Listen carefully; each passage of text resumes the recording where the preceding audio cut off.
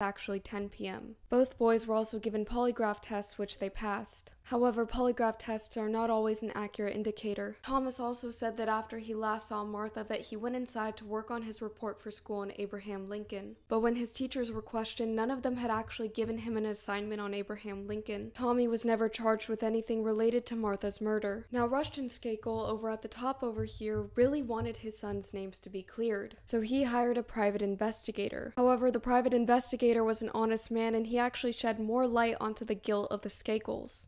Michael had initially said that that night of October 30th, he got back from his cousins at around 11 o'clock p.m. and went straight to bed. But he told the private investigator that he actually went over to Martha Moxley's home, climbed a tree to see into her bedroom window, and masturbated. This is also around the same time where Tommy admitted that the time that he saw Martha last was actually around 10 o'clock p.m., and he also said that they exchanged in mutual masturbation. He actually began to cry as he admitted this.